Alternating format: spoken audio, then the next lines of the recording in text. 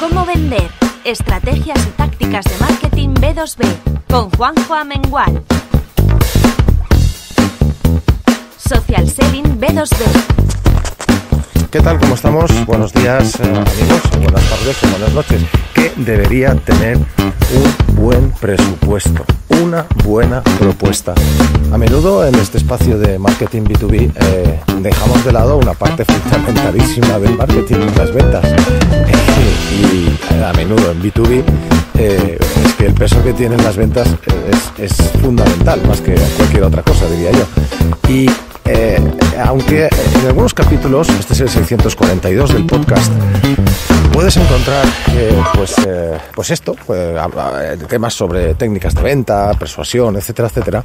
Quizás lo dejo muy de lado y como esta semana pues con algunos clientes en las mentorías que, hemos arrancado y que ya tenemos de marketing B2B, ha surgido ese tema repasando la plantilla que usamos para trabajar con cada cliente, sus estrategias y tácticas de marketing hemos llegado siempre a la conclusión, a la misma conclusión, y es que nos fijamos muy mucho en cómo hacemos una web, cómo planteamos un problema, cómo eh, hacemos el perfil de LinkedIn, qué contamos en los posts.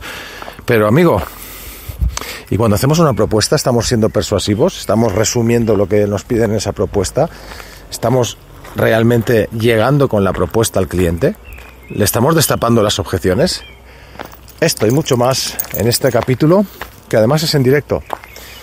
Porque ya no, tengo, tiempo para, para, grabar. Además te voy a contar pues eh, eh, los planes que hemos abierto nuevos de marketing B2B, B2B, y te voy a contar también la mentoría, el nuevo, la nueva mentoría de LinkedIn for Business, que es ese curso que tenemos en el seminario de b2bpro.club. Hay un webinar de 30 minutos que te explica cómo trabajamos eh, los perfiles de LinkedIn desde el 2007 como lo hemos implementado. Y ese webinar te lleva a una formación con mentoría, pero hemos cambiado porque nos lo habéis pedido y le hemos cambiado a mentoría total y una mentoría grupal. Vamos a ponernos manos a la obra en este capítulo de podcast. Mi nombre es Juan Jovengual, llevo desde el 88 en marketing y soy el director de b2bpro.es. Generamos clientes y prospectos y posicionamiento a empresas a través de tácticas, estrategias B2B desde el año 88. Mentoría LinkedIn for Business. Hacemos contigo tus perfiles, estrategia de contenidos y contacto para que posiciones y captes negocio en LinkedIn. B2bpro.es. Marketing B2B desde 1988. Bien, los presupuestos, algo tan maravilloso. Se presupone, y en esto ya entramos en las técnicas de venta, que hemos escuchado al cliente o que hemos hablado con él y que tenemos claro cuál es nuestro producto, etcétera, etcétera. Os voy a dar algunas pistas, no todas. La primera pista es simple. Simple arriba y luego desgranado con todas las características que hagan falta nunca al revés, que es lo que suelo ver mucho. Mucha literatura, mucho texto, yo somos los mejores, el mejor producto, el mejor servicio y al final de todo, a mano izquierda, en un rincón, eh, la chicha, que es lo que quiere ver el cliente, que en qué consiste exactamente, si puede ser bien desgranado en un, en un checkpoint, en entra esto, esto, esto, esto, esto, y el precio que va a pagar. Y las objeciones, por supuesto. Pues eso es lo que tiene que ir arriba. Cuando nosotros ya hemos hablado con todas esas, eh, con todas esas esas personas que, a la cual enviamos esa propuesta, que puede ser una propuesta tipo, nos hemos hecho una idea de, sus necesidades.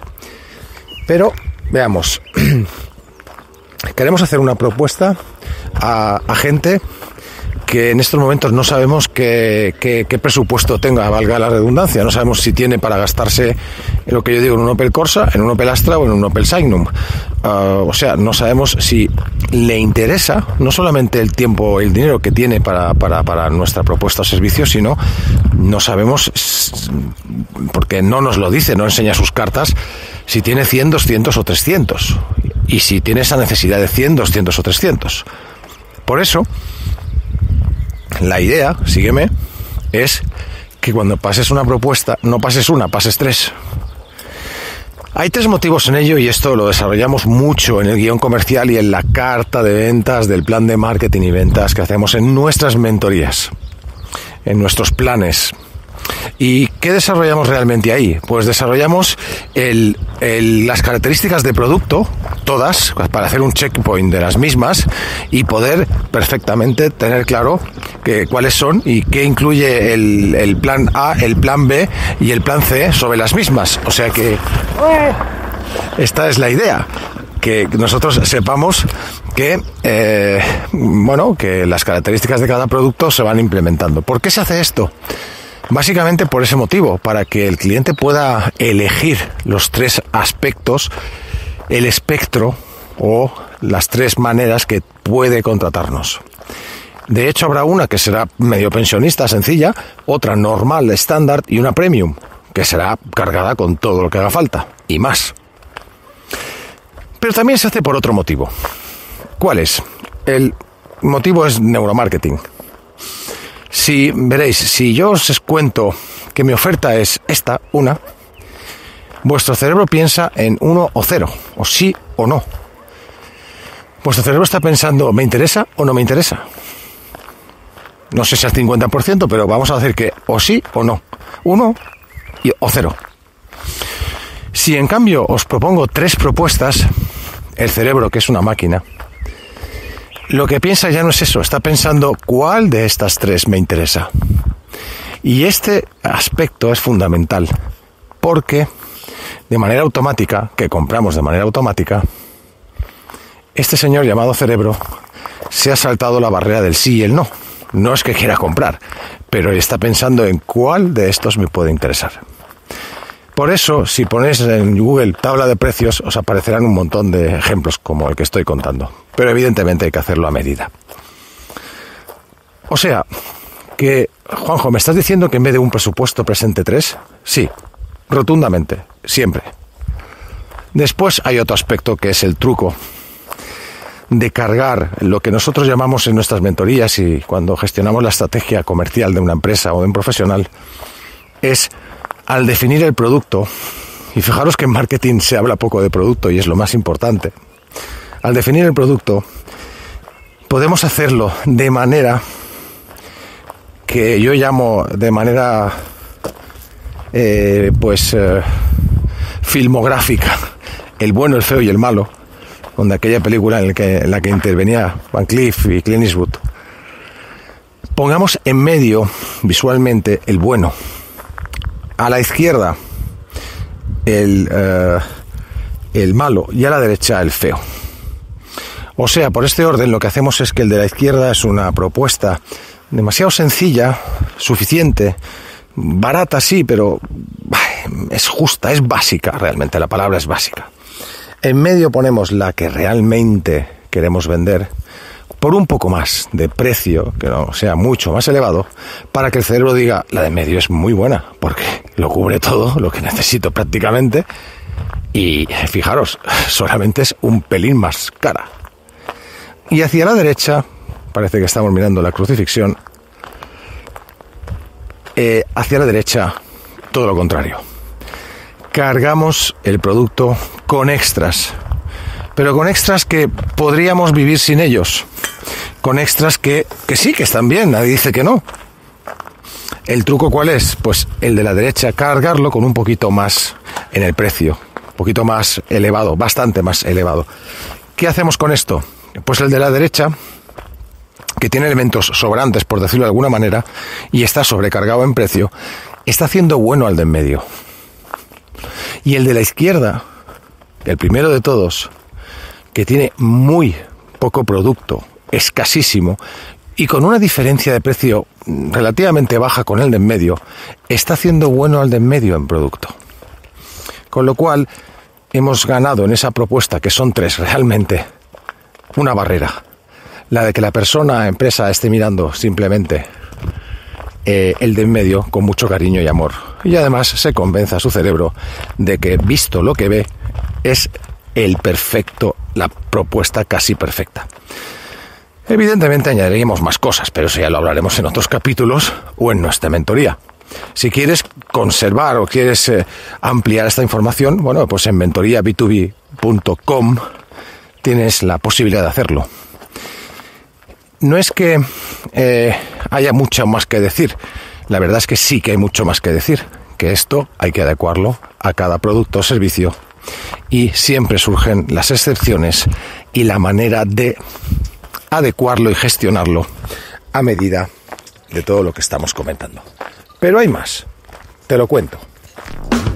Suscríbete en comovender.info y ponte al día en marketing orientado a ventas.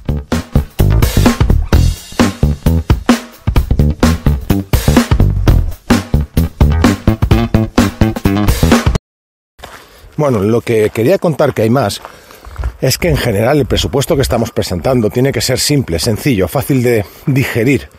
Yo en general recomiendo lo que he dicho antes, que arriba esté lo principal y luego se desglose las características un poco, pues que desarrollen lo principal, para que de una ojeada esa persona no le hagamos perder el tiempo y sepa claramente qué necesidades le vamos a cubrir con las características y servicios de nuestro producto o servicio y tenga claramente, eh, precisamente hablando de estas necesidades, pues tenga claro que, esa pupa, ese pain, se lo vamos a cubrir con nuestras, eh, nuestras propuestas.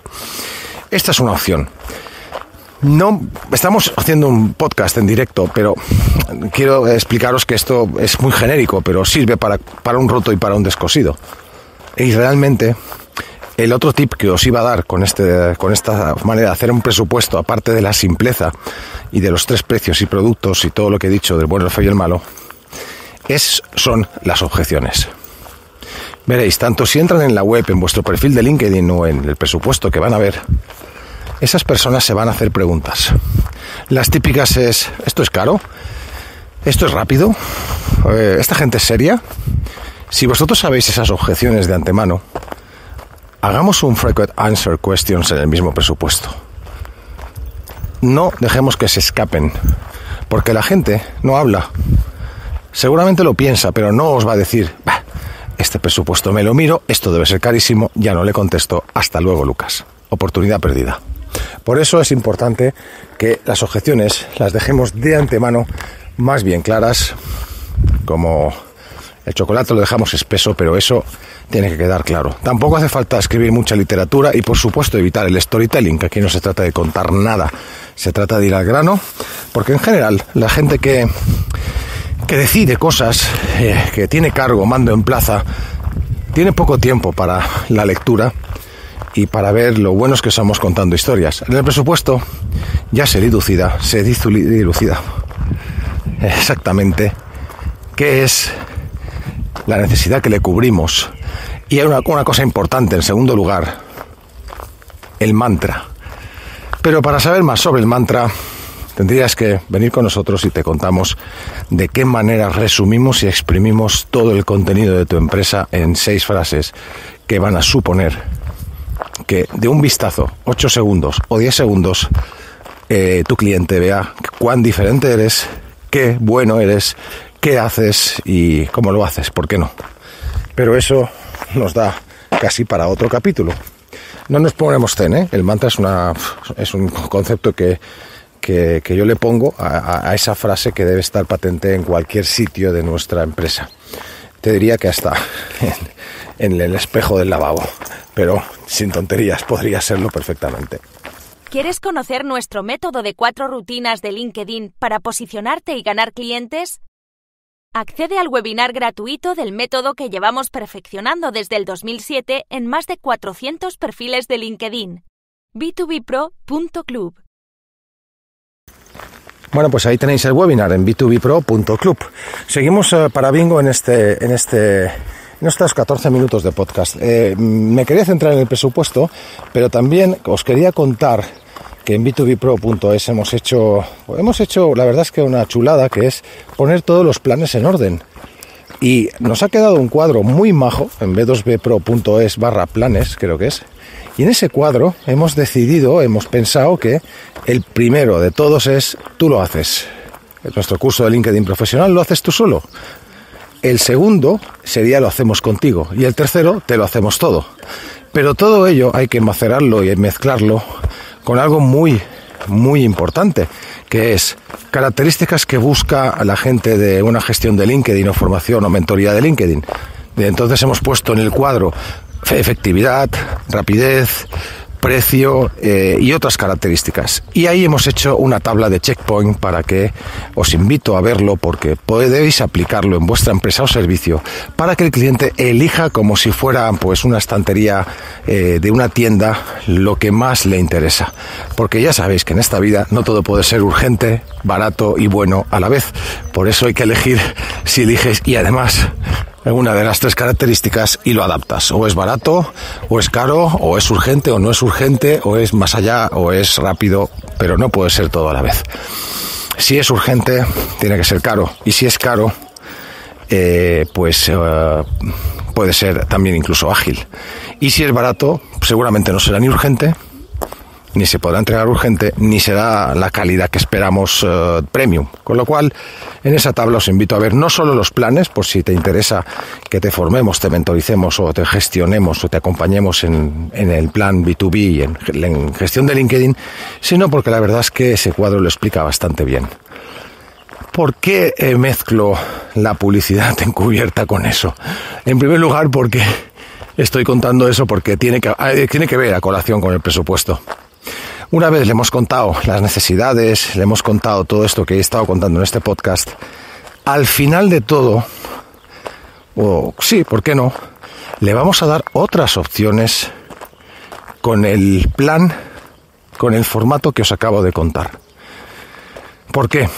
Porque a igual, en la hora de hablar con el cliente para formalizar el presupuesto, se nos ha escapado algo por eso el cliente, que ya ha visto la necesidad que cubrís, ha visto en el mantra lo bueno que somos, ha visto las tres propuestas que abarcan todos los aspectos de su bolsillo o de sus intereses, y ha visto también las tres objeciones resueltas en el Frequent Answer Questions que le ponemos detrás, oh, qué alegría, también ve otras opciones que no había pensado que nosotros podemos hacer y que puede elegir simplemente con las características y con el modelo de servicio o de producto. Amigos, esto es, hasta aquí es lo que puedo contaros de todo este embrollo. Espero que con estas guías y con estas ideas podéis haceros una idea de cómo hacer un buen presupuesto en B2B. Si queréis acordaros ver más información sobre cómo gestionamos LinkedIn y cómo aplicarlo en vuestra empresa, podéis ver el webinar en b2bpro.club y si queréis, por supuesto, ver los planes, meteros en b2bplo.es, creo que arriba en el menú pone planes, y veréis el gráfico en ciernes que os trataba de explicar con simple voz en este podcast, que si me oís jadear es porque paseo a la perra, hecho en directo en la montaña de Vaidemosa, en mi isla, en Mallorca. Pues nada, mi nombre es Juan Jovengual, ya llevo pues desde el 88 en marketing, ahí va mi mantra, desde el 2007 gestionamos perfiles de LinkedIn y hacemos planes de marketing a empresas y profesionales. Y nos vemos en el próximo capítulo, que creo que si no mal recuerdo ya será el 642. Este podcast está hecho absolutamente y al 100% sin chat GPT. Materia gris, experiencia de todo un equipo de profesionales. Espero que lo valores. Un abrazo y nos vemos en la próxima. Hasta luego. Chao. ¿Quieres generar clientes y posicionamiento para tu negocio? En B2B Pro creamos planes de marketing y estrategias B2B en LinkedIn, YouTube que te posicionarán y generarán clientes. Mentoría, formación o gestión de marketing B2B. b2bpro.es con Juanjo Amengual.